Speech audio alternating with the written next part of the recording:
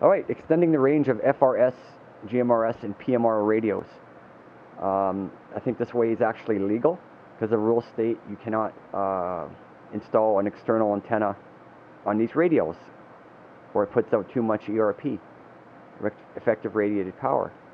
So what I've done here is devised a way to use the built-in antenna that it came with and just simply making it more efficient than it is. So what we're going to do is convert this into a real quarter wave and when we're done it's going to look like this. It's going to be bigger and uh, more efficient, maybe 50% more range. And simply all you have to do is take your hand or some pliers and grab this coil and extend it all the way so there's no kinks in it. Make it as straight as possible and then you simply uh, measure from the circuit board to the uh, end of the antenna, measure it at 6 inches, let's cut it. And then wrap it in some tape or add some PVC to it like that, and that's it. You're going to improve your range for sure. Not dramatically, but noticeably. And to get the measurement here, you could take the radio apart, or you could just, uh, when you have it straight, just kind of take a toothpick or, or something like that and just kind of measure how far it is from here to the circuit board and then minus that from your uh, total length because you want your total length to be 6 inches at FRS. And um, definitely improves the range. It's a little, little more awkward, but receive and transmit will be better uh, using this method. Uh, another trick you could do is get yourself a cheap scanner like that. You can get them for pretty cheap on eBay. I got this one for like 10 bucks. It's an old scanner. It does uh, the FRS bands UHF 462 megs, megahertz, and attach it to uh, an external antenna like this. This is a magnetic antenna. It's used by the couriers and mobile applications. This one is uh, called the MUF4505 by Maxrad and it has a tuning chart. You can tune it to like 463 megahertz and it's got 5 dB gain. Will dramatically outperform these little built-in antennas. And when using one of these, just attach it to something uh, metal like a filing cabinet or a cookie sheet pan like this just to give it a ground plane. And simply use this as your receiver and do all your transmitting on your uh, legitimate FRS radio.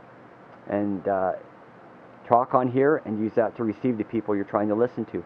And if both sides do that, you're going to probably uh, like uh, easily double your range, maybe triple, maybe four times if both parties do it but that would be a legal way to extend your range. And if you mount this thing outside as high up as possible, use some uh, little bit of extra cable if you have to. Use good stuff though, and that will really help.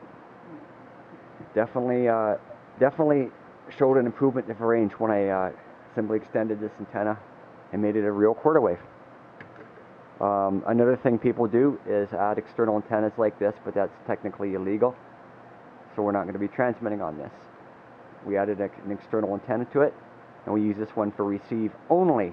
So in that case, it's legal if you don't transmit with it. But uh, however, a lot of people make a mistake when they do this. If you don't attach a ground wire uh, to the outside part, then the whole length of your coax and antenna will act as one antenna and it won't even uh, tune properly.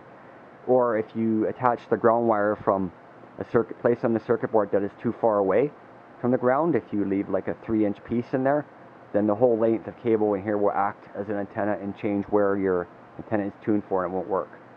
So if you are doing this, you have to attach your ground as close as possible to the ground point on the circuit board. And it's only way that will work. But if you want to stick to 100% legal, just extend the length of this to 6 inches, like that, and it will help.